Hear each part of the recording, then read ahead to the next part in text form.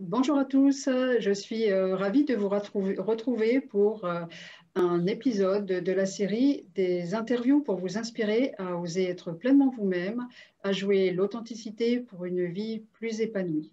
Lors de ces interviews, euh, je reçois des personnalités généreuses et engagées dans l'évolution des consciences et des personnes qui viennent partager avec nous leur cheminement et leurs conseils pour réussir à être tel que l'on est avec authenticité, ce qui bien souvent est une des clés de leur réussite et de leur succès.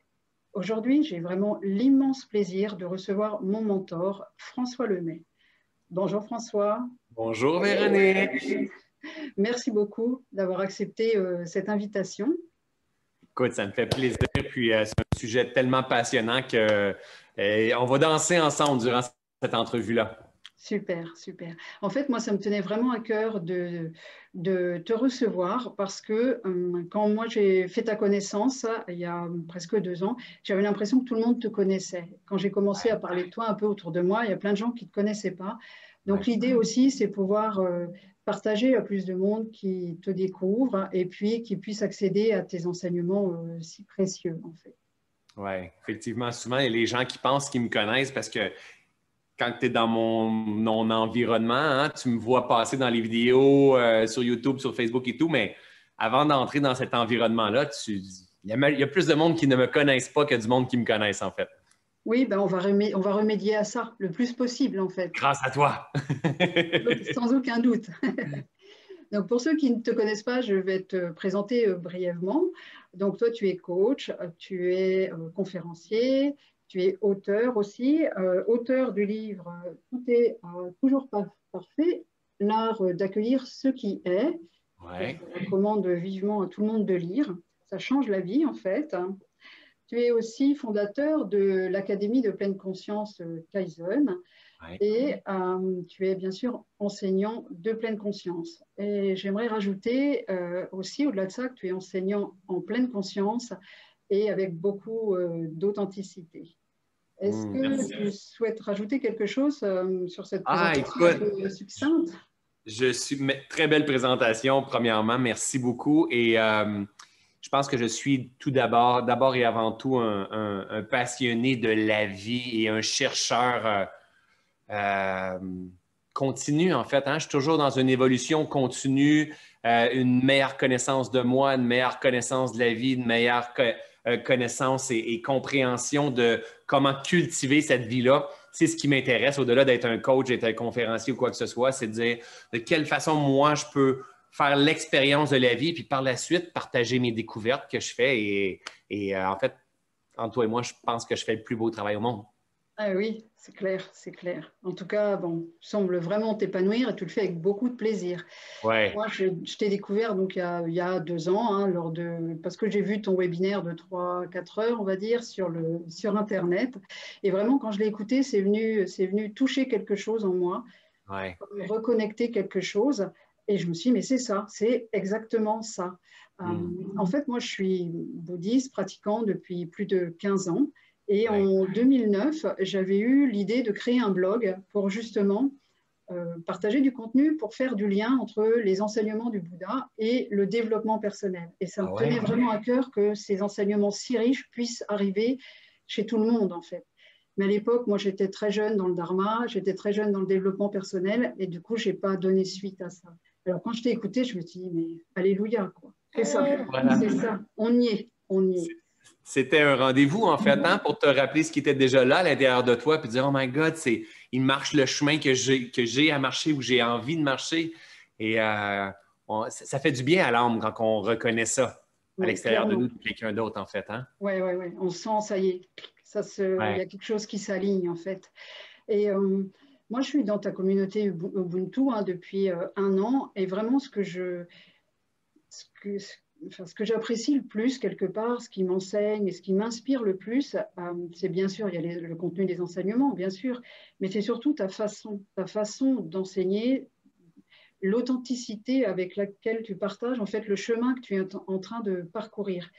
Et c'est vraiment autour de ce thème-là que j'ai envie qu'on échange lors de cette interview pour, parce que pour moi, enfin, pour, qu'on puisse vraiment partager l'importance d'être authentique, les bienfaits que ça a euh, d'être authentique, et puis peut-être aussi, euh, du coup, toutes les choses néfastes qui peuvent en découler si jamais on ne l'est pas.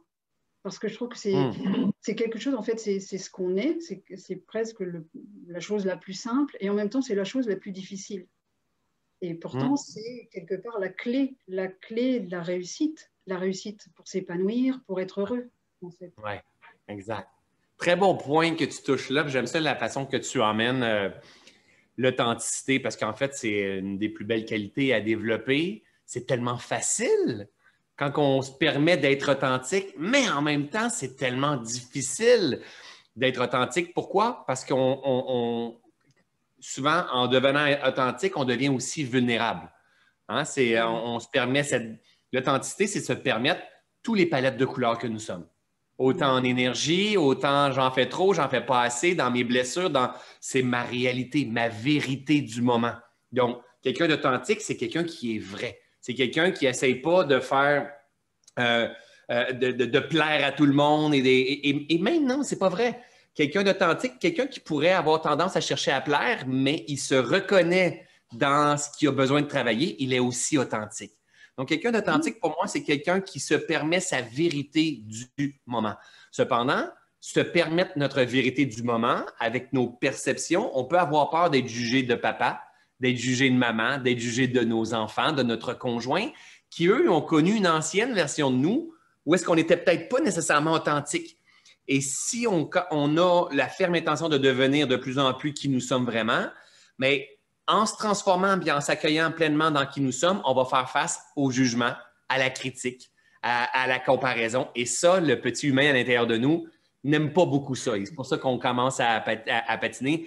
Et effectivement, comme tu l'as bien dit, Véronique, et pourtant, c'est la clé, c'est là qu'on doit s'en aller parce que la vie va nous démontrer ce qu'on a besoin de travailler dans l'instant. Eh oui, eh oui. Mais du coup, toi, tu n'es pas arrivé à ça tout de suite, bien sûr. Hein, on ne va pas se mentir, il y a sans doute eu des passages un peu euh, difficiles aussi, comme tout à chacun. Et qu'est-ce qui t'a permis, à un moment donné, de pouvoir euh, dépasser les moments difficiles et de te, de, te, rapprocher vraiment de ta vérité à toi, malgré, euh, malgré les défis extérieurs, malgré les personnes peut-être qui ne te soutenaient pas, qui ne croyaient pas en toi? Comment tu as réussi à justement garder cette authenticité contre vents et marées presque? Oui. Euh, en fait, tout d'abord, il faut comprendre que moi aussi, j'ai eu mon lot de problèmes. Hein. J'ai eu mon burn-out. J'étais un tondeur de pelouse. Je faisais de l'aménagement paysager. L'hiver, je faisais du déneigement. Euh, quand j'ai commencé à faire mon éveil de conscience, je, me suis, je suis devenu allumé comme un sapin de Noël et je me suis mis à faire peur à plein de personnes. Donc, des jugements, j'en ai eu plein. Je me suis intéressé, pensez-y, du mécanicien, du tondeur de gazon, du jour au lendemain qui s'intéresse à la spiritualité, à la méditation. À la... J'ai fait peur à plein de gens. Ils pensaient que j'étais en train de rentrer dans des sectes. Donc, des jugements, j'en ai eu plein. Euh, j'ai eu besoin de me rechoisir plusieurs fois dans ma vie. Donc, effectivement, tout ça, c'est un grand processus de pleine réalisation, de purification, de, nettoyage, en fait. Cependant, avec le temps, plus j'avançais, plus je commençais à marcher mon chemin de ma vérité, plus je me rendais compte que ça donnait de l'énergie. Ça me permettait de voir qui j'étais vraiment, pas d'acquérir, mais d'activer mon véritable potentiel à l'intérieur de de nous parce qu'en fait, la seule façon de se libérer, la seule façon d'activer notre véritable potentiel, c'est de passer par le chemin de l'authenticité, de la vulnérabilité, de la vérité. Alors, bien sûr, j'ai fait face à plein de jugements et tu, me connais aujourd'hui. Hein? Mm-hmm. Encore aujourd'hui, je fais face à plein de jugements. La différence entre le François d'avant et le François d'aujourd'hui, c'est que le jugement, c'est OK. Avant, le jugement, c'était pas OK. Alors, quand le jugement, c'est pas OK, donc, quand tu te fais juger, puis là, ils sont pas corrects de me juger comme ça, de me critiquer, ils devraient me supporter, puis ils me comprennent pas. À chaque fois que j'ai un jugement sur le jugement, ah, on voit mon chien qui est mm À chaque fois que j'ai un jugement sur le jugement, je perds ma stabilité mentale. Et là, je perds mon équanimité parce que je ne suis pas d'accord avec ça, mon équanimité. Je ne veux pas aller trop loin dans les enseignements, mais je perds mon équanimité, je perds mon authenticité, puis j'essaie de contrôler tout ça. Donc, en fait, aujourd'hui, je me fais juger très, très souvent. Hein. Je pourrais me faire juger par, euh, là, on va être beaucoup une, communauté qui est en Europe. Donc, il parle trop vite, il a un drôle d'accent, je ne le comprends pas. Comme autant, je l'aime beaucoup. Dans les deux cas, c'est du jugement. Je pourrais aussi être jugé parce que, euh, je ne sais pas, moi, il y a des grandes fenêtres sur ma maison et je fais plein d'argent et je suis un gourou du développement personnel et je manipule les gens qui sont faibles. Tu sais, des jugements, il y en aura toute notre vie jusqu'à la fin des temps. Et ça, on doit accueillir ça comme une grande vérité. Comme le yin et le yang, il existe un monde de polarité. Et on ne doit pas attendre que tout soit purifié avant de vivre pleinement. On doit être, ce que j'appelle souvent le maillon purificateur. C'est OK d'être dans un monde qui juge, qui a des perceptions, mais toi, de quelle façon tu as envie de vivre? Et le monde a besoin de beaucoup de ce type d'éveilleurs de conscience-là, de gens qui inspirent, qui emmènent l'espoir, comme toi, comme moi, et qui s'affirment, qui viennent honorer, qui sont leur proclamer leur rareté et accueillir les résistances qui vont être là de toute façon. Parce que, en fait, la réalité, c'est que dans mon ancienne vie, j'avais vraiment, moi, c'était ma plus grande peur, la peur du jugement, la peur d'être critiqué. Et, je m'assurais de ne pas décevoir personne. Et j'achetais des choses, je possédais des choses pour que le monde me dise Ah, t'es, t'es don exceptionnel. Et je ne voulais pas faire face au jugement. Et plus que je me suis transformé, plus que j'ai grandi, plus que j'ai eu accès à mon potentiel, plus que j'ai fait face au jugement. Aujourd'hui, il y a plein de gens qui m'aiment dans ma communauté sur mes réseaux sociaux, mais je me fais juger plus que jamais. Eh oui. Mais oui, parce que je polarise, puis, puis j'emmène les gens dans leurs possibilités, j'emmène les gens dans leur résistance, mais je n'y peux rien. Plus que je suis vu par des gens, plus qu'il y a des gens qui vont, qui vont juger. Et c'est normal. Il eh ne faut pas s'attendre à qu'il n'y ait plus jamais de jugement, en fait. Oui. À l'extérieur. Tu es arrivé à une maîtrise de ça, pour prendre de la distance et puis que le jugement, il ne t'atteigne plus. Mais au tout début, au tout début, c'était sans doute pas le cas. Comment mm. tu as commencé à, petit à petit être plus confortable avec le jugement? Oui, en fait, non, au tout début, c'était vraiment pas le cas.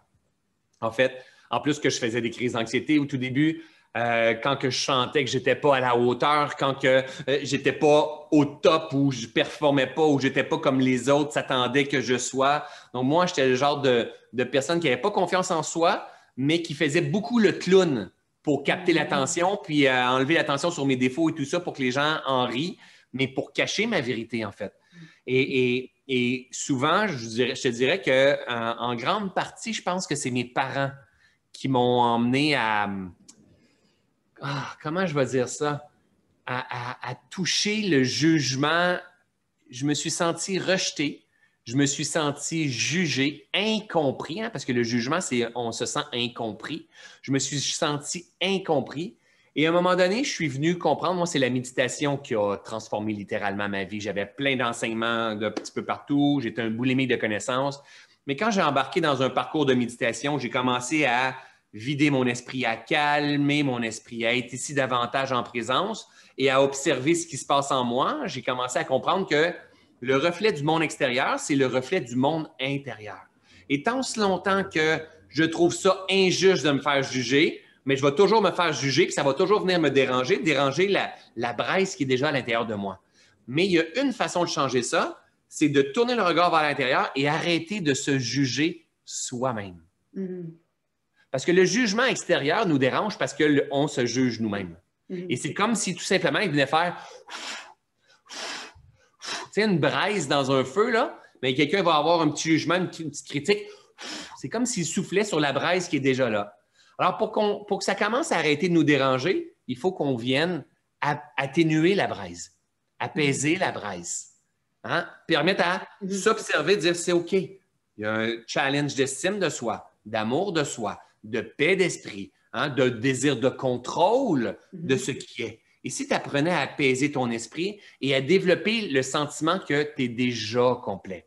Et il y a une phrase, moi, qui m'est venue avec le temps, tu sais que je l'utilise régulièrement dans mes enseignements, c'est chaque personne fait du mieux qu'il peut avec les outils qu'il a, son niveau de conscience, son niveau d'intelligence du moment. Mhm. Donc, tu ne peux pas demander aux autres d'arrêter de juger parce que c'est pas bon, parce qu'ils font du mieux qu'ils peuvent avec les outils qu'ils ont, leur niveau de conscience, leur niveau d'intelligence du moment.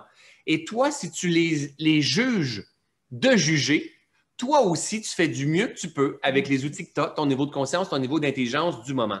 Alors, si tu développes tes outils, hein, si tu développes ta faculté de prendre de la hauteur, de t'observer, de t'apaiser, tu vas arrêter de juger ceux qui jugent. Et à partir de ce moment-là, tu vas commencer à être en paix, tu vas commencer à être détaché et ça va commencer à te couler sur le dos comme sur un canard parce que tu vas comprendre que ça fait partie de la vie. Comme présentement, là, ils vendent beaucoup ici au Québec.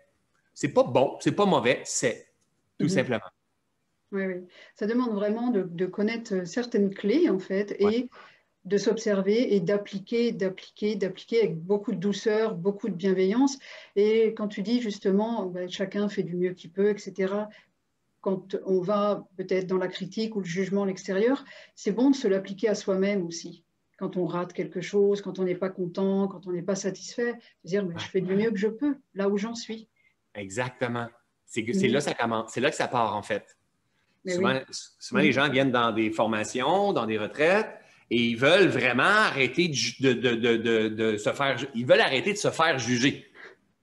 Donc, mm mais ils ne veulent pas arrêter de se juger, puis ils ne veulent pas arrêter, euh, ils veulent pas accueillir les autres qui jugent.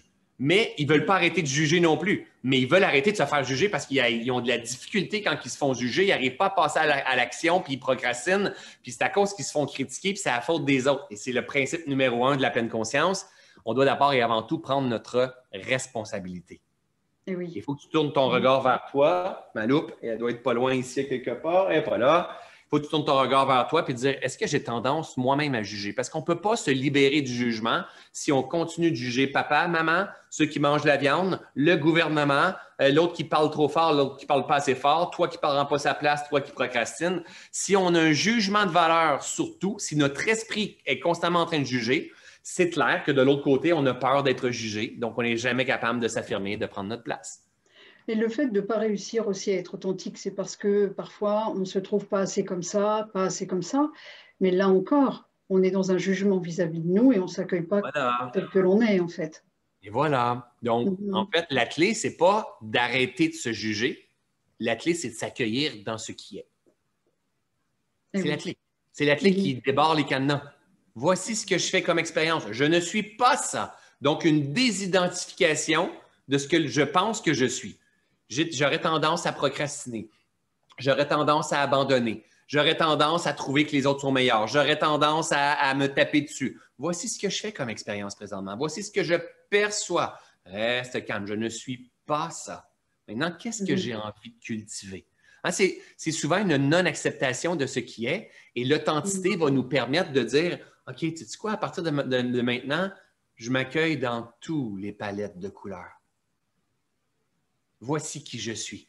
Je suis la plus belle merveille du monde, tout comme les flocons de neige, il n'y en a pas une de pareille. Mhm. Voici comment je suis, moi. Tu sais, j'enseigne la pleine conscience avec énormément d'amour. Je synthétise, je vulgarise extrêmement bien et de temps en temps, je donne des taloches sur le bord de la gueule dans ma façon mhm. d'enseigner. Voici qui je suis, mais j'enseigne pas comme le Dalai Lama ou j'enseigne pas comme, exemple ici, Nicole Bordelot, j'enseigne pas comme Rémi Tremblay, j'enseigne comme François Lemay. Je suis un flocon de neige comme je suis et j'ai décidé aujourd'hui d'exprimer pleinement ma palette de couleurs sans mm. faire comme un autre. Ça, c'est l'authenticité. Se permettre qui nous sommes à notre façon. Et c'est souvent ça qui fonctionne le mieux, en fait. En fait, c'est le, jour qu'on se permet véritablement d'être qui nous sommes, c'est une guérison au niveau de l'âme. Et à partir mm. de ce moment-là, les portes s'ouvrent.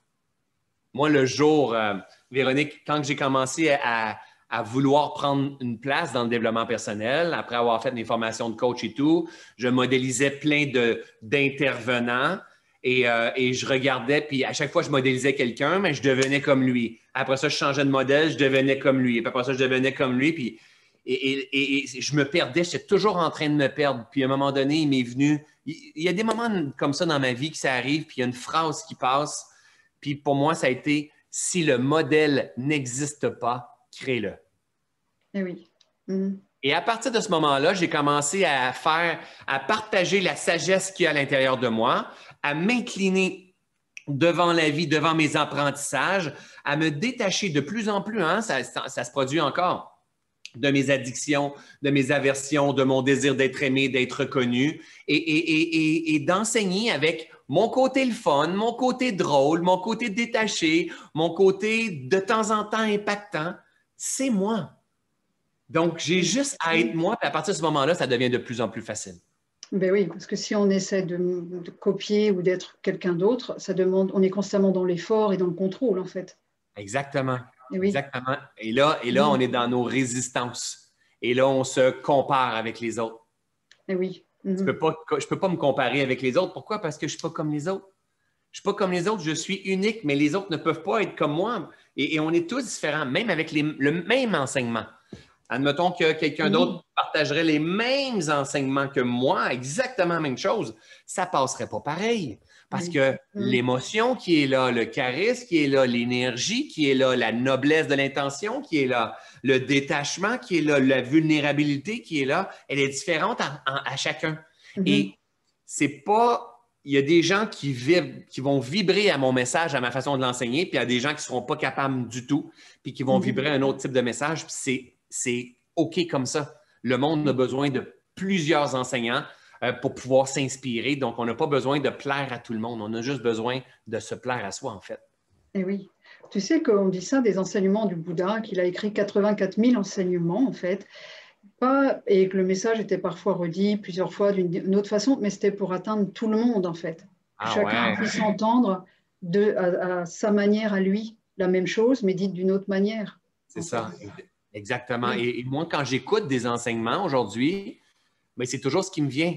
Je, prends l'enseignement et là, je viens comprendre quelque chose avec. C'est comme si je me rends compte que la connaissance que quelqu'un fait couler dans ma coupe, dans mon esprit, combinée à ma compréhension et ma connaissance, fou, quand ça ressort, c'est dans un autre format. Hein. Il y a, quelqu'un qui, c'est Lavoisier, qui disait Rien ne se perd, rien ne se crée, tout se transforme. Mm-hmm et va se transformer à travers les différents esprits. On est tous différents. Donc maintenant, imagine si moi, je, voulais essayer de faire comme le Bouddha, ou comme Jésus, ou comme non. La vie demande à moi d'être qui je suis en ce moment. Et qui je suis, qui je suis, c'est l'expression de mon âme, de mon souffle de vie, mais aussi l'expression de mon ego en ce moment de l'existence de François Lemay. C'est important cette partie-là. Donc, c'est laisser passer tout ça en apprenant à mourir. C'est ça aussi l'authenticité. Te permettre de mourir dans ce que tu penses qui est, qui est la vérité, qui est la vie. Tu, me suis depuis un bon bout de temps. Tu me vois de temps en temps, fais Aïe, aïe, aïe, encore une fois. Mais c'est ce type d'enseignement-là qui, m'inspire, que j'ai envie de partager. C'est pas celui qui a compris, mais celui qui marche avec ses frères et sœurs, qui a compris quelque chose, qui partage sa vérité, puis de temps en temps, qui fait j'avais pas vu, je dois m'incliner. C'est aussi ça l'authenticité. Et la beauté dans l'authenticité, c'est le moment que tu te permets d'être authentique, tu permets aux autres d'être authentiques aussi. Et eh oui. Et c'est vrai que c'est pas, c'est pas l'authenticité, c'est pas être tout lisse, tout net en fait. C'est pas ça, c'est pas une perfection l'authenticité. C'est juste, juste être euh, soi en fait, avec euh, toutes les aspérités qu'il peut y avoir en fait. Exactement, exactement. C'est un grand travail, hein? C'est un travail d'une vie, en fait. Mais mm-hmm. plus qu'on fait ça en conscience, plus qu'on se rend compte que ça demande, ça prend beaucoup moins d'énergie être authentique. Et ça donne beaucoup mm. plus d'énergie.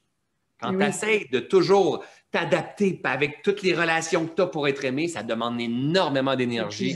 Ça agite énormément le petit hamster à l'intérieur. Et c'est à ce moment-là qu'on commence à vivre, l'enfer sur Terre, en fait. Eh oui, c'est clair. C'est vraiment très, très précieux, François, ce que tu partages là. Euh, j'avais une, autre question pour toi, parce que lors d'une masterclass, euh, quelqu'un t'avait demandé euh, si, ben, quand tu avais commencé à lancer ton activité, etc., tu étais soutenu, en l'occurrence par ton épouse, et ce n'était pas le cas au départ. Et tu as dit, mais ma foi, elle était plus grande que mes insécurités. Est-ce que tu peux en dire un petit peu plus par rapport à ça? Comment c'est quoi cette foi et comment on la nourrit en fait pour qu'elle soit plus forte que ce qui nous empêche? En fait, c'est comme n'importe quoi. Hein. Pour nourrir quelque chose, je dois y mettre mon attention. Mm-hmm. Que ce soit mon estime, que ce soit ma confiance, que ce soit mon sommeil, que ce soit ma perte de poids, mon retour à la santé, que ce soit un jardin euh, fertile, que ce soit une situation financière, que ce soit un sourire dans le visage, que ce soit avoir de la vitalité, que ce soit avoir des plantes qui sont pleines de vie, que ce soit avoir de la bonne nourriture sur la table ou que ce soit tout simplement euh, avoir la foi. Il faut tout simplement j'y mettre mon attention, ma concentration, et je dois avoir la ferme intention de cultiver la foi. Alors moi, dans ces années-là, euh, je lisais beaucoup de livres qui parlaient de confiance en soi, qui parlaient d'estime, mais qui parlaient de foi. Et heureusement, j'ai été, euh, je ne sais pas comment dire ça, mais j'ai été impacté, j'ai été allumé sur l'univers très rapidement. Pas très rapidement dans ma jeunesse, mais dans mon éveil de développement personnel, hein, parce que tu as développement personnel, tu as développement spirituel. Dans mon éveil de développement personnel, j'ai été impacté très rapidement par l'ouverture de la conscience et, et de, de la foi, de quelque chose de plus grand, que ce soit Dieu, que ce soit religion, que ce soit... Ce qui n'était pas compris pour moi à ce moment-là, l'univers, il y avait quelque chose qui était là. J'avais un appel et, euh, j'ai beaucoup d'audace dans la vie. Donc, je crois que la foi vient beaucoup avec l'audace. Et, euh, et j'ai fait des actes de foi, c'est-à-dire que j'ai osé jouer la vie de quitter un ancien travail, une ancienne relation pour.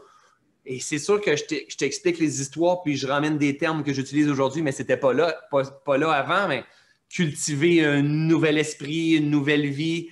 Mais en fait, je voulais me réaliser. Je sentais qu'il y avait quelque chose à l'intérieur de moi. Je ne savais pas mm. c'était quoi. Et ça, j'ai la perception et la croyance profonde que c'est à l'intérieur de chaque personne. Et c'était à ça dans, à quoi j'avais la foi. Et à chaque fois que ce souffle-là de vouloir contribuer, vouloir cultiver mon esprit, vouloir aider les gens, à chaque fois que ça, j'avais l'idée de je vais abandonner, je vais aller travailler dans une quincaillerie ou peu importe, sans, ou, retourner dans mon ancien travail, à chaque fois que j'emmenais une vision qui, où est-ce que je nourrissais pas ça, ah, je commençais à m'éteindre, ça me faisait souffrir énormément.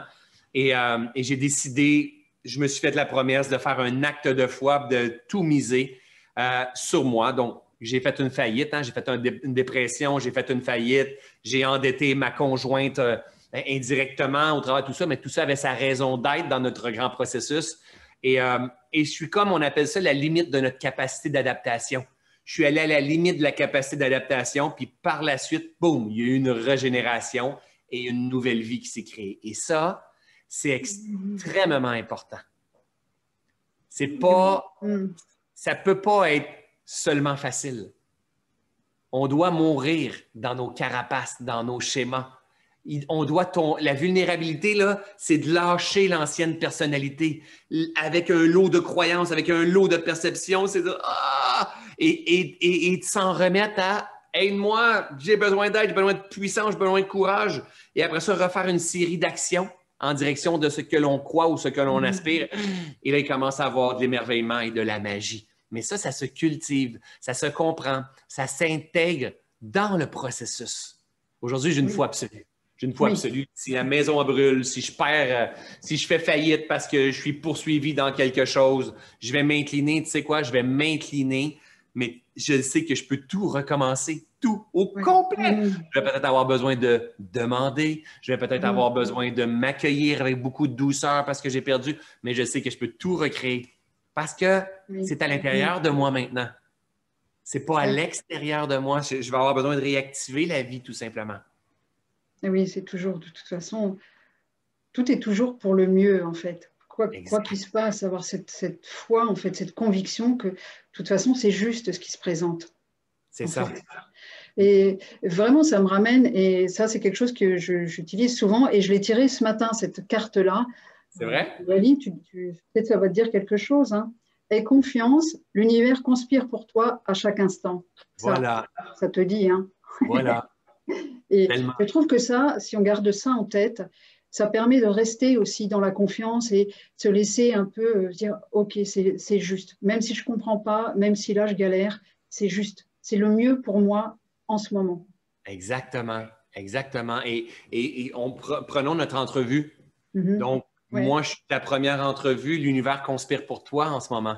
Elle est en train de répondre à tes besoins, de te permettre de faire tes premiers pas. Mais de l'autre côté, l'univers conspire pour moi aussi parce qu'elle elle va m'offrir la possibilité de rejoindre d'autres âmes, de, faire circuler ce message-là et tout, et de contribuer à Véronique, qui est une de mes étudiantes et tout ça. L'univers conspire pour nous à chaque instant, pas pour une personne, pas pour eux, mais pas pour eux. Conspire mm. pour nous, pour tout le monde. Cependant, il existe le, yin et le yang, les deux polarités. De temps en temps, ça va être nuageux, brouillard. De temps en temps, ça va être les arcs-en-ciel avec le soleil. Et c'est là qu'on doit arriver dans, une, dans un, un esprit de non-jugement et d'accueillir l'enseignement du moment. Oui, mais j'ai l'impression que ça, pour le comprendre, il faut déjà, déjà être rendu un peu quelque part. Parce que quand tu partages à quelqu'un qui enchaîne les galères, où c'est très lourd, où c'est très long, qui sort pas la tête de l'eau et qui n'a pas cette conscience-là, Ouais. On ne peut pas accéder à ça en disant bah, chouette, ça c'est un cadeau de la vie. ouais. Mais en, même temps, c'est un peu comme le poisson. Tant aussi longtemps qu'il n'est pas sorti de son bocal, il ne sait même pas que l'eau existe. Ah oui. Tu comprends? Lui, il est dans le bocal, puis l'eau est. Non, non, puis tu dis non, il existe de l'air. Non, non, puis sors-le du bocal. Mais c'est la même affaire que personne qui galère par-dessus galère, par-dessus galère, par-dessus galère. Il ne sait même pas qu'il y a un autre monde qui existe, une autre façon de vivre qui existe. S'il prend sa responsabilité, s'il prend de la hauteur, s'il comprend les polarités. Donc, donc la vie, elle nous ramène toujours à la reconnexion de qui nous sommes vraiment dans un but de d'éduquer à notre mhm. vérité profonde. Mais pas nécessairement Véronique et François. L'humanité au complet est en progression, en évolution vers la mutation d'une nouvelle race d'êtres humains de plus en plus en conscience. But it's a process. Oui, c'est une bonne nouvelle. Hein. C'est une, une très bonne nouvelle. c'est une très bonne nouvelle. Mais en même temps, il y a aussi un lot de contractions, comme on le voit dans le monde en ce moment, qui fait que les polarités se tiennent constamment. Après chaque contraction vient son équivalent en expansion. C'est la vie, comme lors d'un accouchement. Mais en même temps, on doit arriver à trouver notre centre. C'est ça. On, va changer. Le monde est en train de se changer. Mais d'abord et avant tout, il faut reprendre la maîtrise de soi. Il faut tourner notre regard vers soi puis cultiver notre esprit intelligemment. Eh oui. Et clairement, toi, quand ça t'arrive encore aujourd'hui, si ça t'arrive de temps en temps d'être un peu euh, comme ça, pas confortable, qu'est-ce que tu fais concrètement? En fait, premièrement, je m'observe. Je m'observe. Hein, une de mes plus grandes facultés que j'ai développées avec le temps, c'est ma faculté d'observation. Donc, je m'observe dans quel niveau de fréquence que je suis. Et le but de la vie n'est pas être dans des fréquences d'amour et de ne pas être dans des fréquences de euh, je ne sais pas, de tristesse, de peine. C'est pas ça le but de la vie. Le but de la vie, c'est de, nettoyer les blocages, les limitations, permettre à la vie d'être tout simplement dans sa progression, mais elle va faire de temps en temps l'expérience de haute fréquence et de basse fréquence. Puis pour qu'on vive le plus possible dans des belles fréquences d'amour, d'acceptation, de partage, de collaboration, euh, de compassion, de gratitude, il va falloir qu'on accueille les résistances qui nous tiennent dans notre ancien monde. Donc, quand je me rends compte que je fais ce genre d'expérience-là, je m'observe, voici ce que je fais comme expérience, je suis en train de faire l'expérience de quelque chose que je suis en train de purifier, de libérer. C'est comme quelqu'un qui se remet en forme, hein, puis il a eu la malbouffe, il a pris beaucoup de café ou de sucre, quoi que ce soit, il va avoir un mal de tête dans les premières journées qui recommence sa remise en forme. Mais c'est un peu la même affaire quand on commence à purifier notre conscience. De temps en temps, on va avoir des symptômes, mais temporairement, et notre but, c'est de les accueillir pour pouvoir les purifier. Donc, une chose que je me dis souvent, avec beaucoup d'amour, es-tu capable de. Est-ce que tu connais ma phrase que je m'allais dire? Si je suis dans une fréquence basse, euh, qu'est-ce que je me dis selon toi? Ferme ta gueule. Ta gueule, effectivement. Effectivement, ta gueule, François Lemay, mais avec beaucoup d'amour, pas ta gueule, ta gueule. Arrête de te prendre au sérieux dans ton. T'es en vie, t'es en vie. Tu fais l'expérience d'une basse fréquence présentement, et cette fréquence-là, elle est passagère. Tout passe, tout change. Donc, elle va vivre son cycle de contraction, mais elle, va, elle, elle, est passagère. Le problème, quand on a la conscience encore endormie puis on n'a pas cultivé notre esprit beaucoup, le problème, c'est que on pense que ce que l'on vit va être comme ça toute notre vie. Mm-hmm. Et là, on le juge et on critique et on résiste. Et quand on résiste, ça persiste. Moi, aujourd'hui, là, je ne résiste. C'est très, très, très, très rare que je résiste maintenant. Par contre, est-ce que ça arrive que je vis des plus basses fréquences? Mais oui, mais je m'accueille parce que je purifie ces fréquences-là. Donc, mm-hmm. ta gueule, c'est souvent quand on est fatigué aussi, oublions pas, quand on a l'esprit fatigué, quand on a étiré l'élastique. Donc, ta gueule, va te coucher. Demain, c'est un autre jour. Hop! Puis cultive la gratitude, cultive ce que tu veux vraiment voir. C'est un art de vivre, hein? C'est la pleine conscience, c'est véritablement un art de vivre. Oui, oui, c'est pas on y est arrivé une fois puis on n'a plus rien à faire en fait. C'est la vigilance de chaque instant. Oui, exactement, exactement. Oui. Il y a toujours, il y a toujours c'est comme un oignon. Si on voit comme un oignon, puis au centre, il y a un beau diamant, c'est nous, ça. C'est comme un oignon, il enlève, on enlève une couche. moi, j'aime ça, j'adore ça parce que quand j'enseigne avec, euh, avec, avec mes, mes, élèves, en fait, on enlève des couches, on enlève des couches, on enlève des couches, on enlève des couches. Puis quand ça fait un bout qu'on enlève des couches, on pense qu'on a compris. Là, il y a toujours l'ego, hein, un ego spirituel qui vient se créer. Oh, on pense qu'on a compris. Et c'est à partir de ce moment-là que la souffrance s'amplifie. Ah! On vient de manger une claque qu'on n'avait pas vue. Mais oui, mais la claque, elle est lourde, elle est souffrante tout simplement parce que tu pensais avoir compris. Mm-hmm. Si tu accueilles, tu t'inclines, je vais en vivre plein d'autres challenges dans ma vie. Eh oui. Mm. Mais différemment. Je vais les accueillir. Je vais comprendre que derrière cette version de François qui est en train de faner, qui est en train de mourir, il y a une nouvelle version qui s'en vient. Peut-être dans trois jours, peut-être dans trois semaines, peut-être dans trois mois. Mais je laisse la vie faire son œuvre parce que, honnêtement, c'est pas en la qualité de François Lemay que j'ai la foi. Mm. C'est en la vie en la vie qui coule en moi, en la vie qui coule en nous. Ça, j'ai une foi absolue. Eh oui. C'est vraiment, je trouve que c'est tellement précieux, en fait, d'accéder à ça, d'accéder à cette connaissance-là, quelque part, pour comprendre qu'en fait, tout se joue en nous, absolument tout. Et on a, on a vraiment, on a juste les rênes dans nos mains. On ne sait pas comment les utiliser pour beaucoup, mais c'est juste des, repositionnements, on a toujours le choix en fait, et on peut, on peut aller vers où on a envie d'aller. Moi, je trouve ça tellement magique. C'est pas simple à mettre en place, mais c'est tellement magique. Et en fait, on a, on a une liberté immense, immense. On dépend de personne. Tu sais, en fait, euh, Véronique, je, suis entièrement d'accord avec toi. quand tu dis que c'est pas simple à mettre en place, mais c'est pour une raison, c'est parce que aujourd'hui, on est privilégié, hein, notre génération, parce que tout ça se trouve sur le web et tout. Mm-hmm. Mais imagine dans peut-être deux autres générations. Ça va être de plus en plus simple parce que ça va venir à la naissance. Les parents vont cultiver ce mode de vie-là, cet art de vivre-là. À l'école, on va encadrer les enfants comme ça. Notre système économique, notre système éducatif, il va, il va être en conscience de plus en plus. Mais nous, on est dans la, génération qu'on doit apprendre sur le tas. On doit apprendre sur le web, en format et tout ça. C'est pour ça que c'est pas difficile, difficile parce que si on pense, pense à ta conscience, je pense à la mienne, ben, je pense à la conscience de mon père et de ma mère, mais si je pense à la conscience de mon grand-père et ma grand-mère et la conscience de mon arrière, aïe, aïe, aïe, aïe, aïe, aïe, aïe, aïe, aïe, il y a du chemin fait. Oui, oui, oui. Donc, dans une ou deux générations, nous, on est dans un point de bascule. C'est pour ça que c'est pas difficile. Mais le moment où on va, ça va être ancré. Moi, tu dois l'avoir vu toi aussi, Véronique, mais moi, dans les dernières années, j'ai vu ça évoluer à vitesse grand V. Là.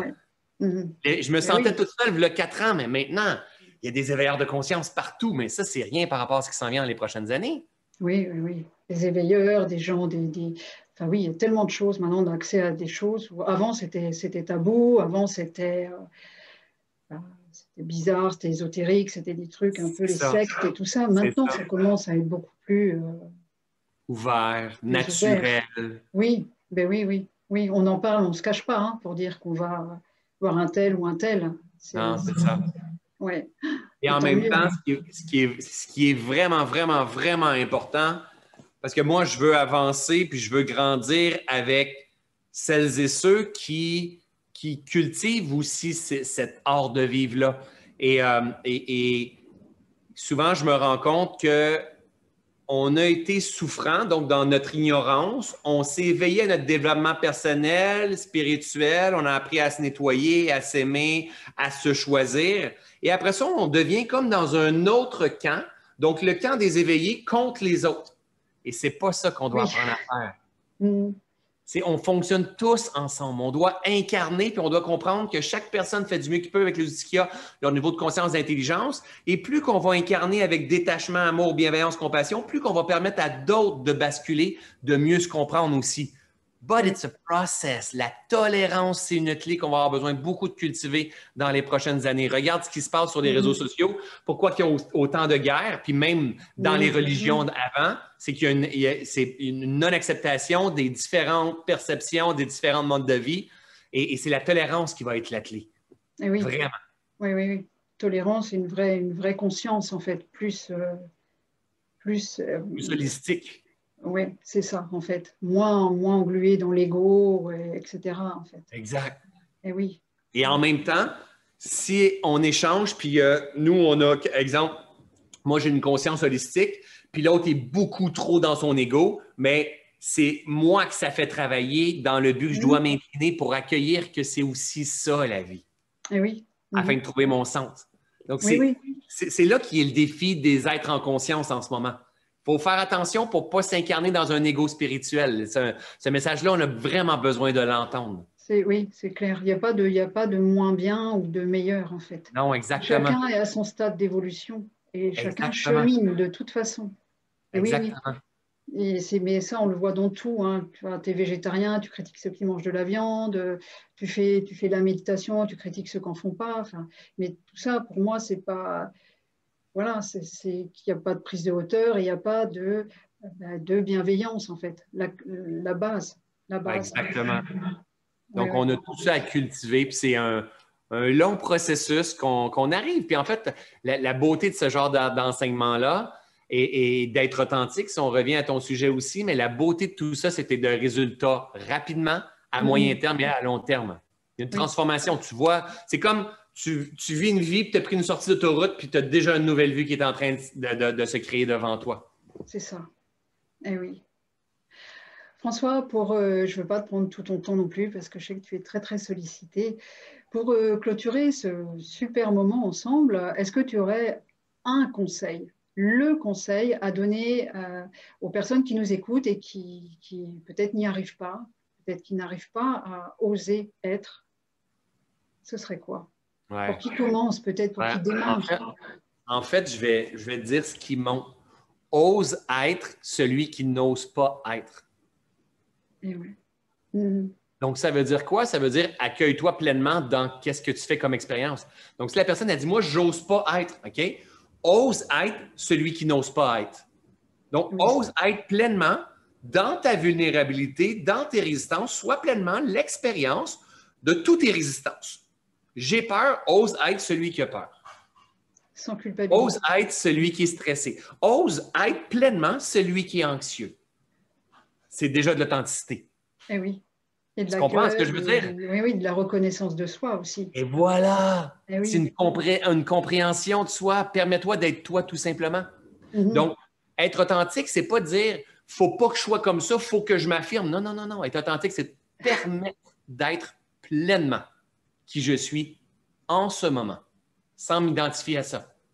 Tout simplement. Ose être qui tu n'oses pas être, tout simplement. C'est excellent. Hein. Excellent. Ouais. Merci, ouais, c'est vraiment, c'est super. Je pense que ça va être utile, en fait. C'est pas besoin d'aller chercher autre chose ou d'appliquer autre chose. Voilà, accueille, accueille dans ce que tu es, en fait. Exactement. Incline-toi devant ce que la vie est en train de t'enseigner en ce moment. François, merci infiniment. C'est vraiment, vraiment top, top, top. Je suis vraiment très, très, très heureuse. Moi, où les gens peuvent te retrouver? S'ils ont envie de euh, quand même euh, aller écouter un peu plus ton accent et partager. Et, se faire l'oreille. À un moment donné, ça, on se fait l'oreille. Est-ce que ton oreille est habituée maintenant à mes enseignements? Oui, oui. Ben hein. C'est vrai que le premier mois de Reset 5, euh, tu t'accroches un peu. Mais après, voilà, c'est même que je, finis par employer des mots québécois à la maison, en fait. Oui, c'est ça. Voilà, ça fait partie. Au début, c'est oh là là, il parle trop vite, il y a un drôle d'accent, puis éventuellement, on, on finit par s'habituer. En fait, euh, facile, hein? Euh, françoislemay.ca, mon site Internet. François Lemay sur YouTube, François Lemay, Facebook, Instagram. Vous allez me voir si vous rentrez dans cet environnement-là. Vous allez voir, je donne énormément de contenu gratuit pour aider les gens. Donc, euh, on fait le même genre de travail. Puis je suis très heureux d'avoir contribué avec toi dans, dans cette entrevue-là? Mais vraiment, avec grand plaisir. De toute façon, je vais mettre tes liens sous la vidéo. Euh, vraiment, ben, merci à toi, François. Merci à vous tous pour votre écoute. J'espère vraiment que ces enseignements, ils vont trouver une place toute particulière euh, dans votre vie, dans votre cœur, comme ils ont trouvé leur place euh, dans le mien. Et n'hésitez pas à laisser des commentaires sous la vidéo. Moi, je serais très, très heureuse de vous lire. Et voilà, likez, partagez, partagez si vous connaissez des gens qui pourraient avoir besoin d'entendre ce message. Voilà, moi j'ai besoin, j'ai besoin, oui, j'ai besoin que ça se soit diffusé vraiment partout, parce que les gens ont besoin d'entendre ça pour aller bien, pour aller mieux. Voilà. Donc, euh, prenez soin de vous, tous, en tout cas. Et puis, je vous dis euh, à très bientôt. Bye bye. Bye bye tout le monde. Bye François.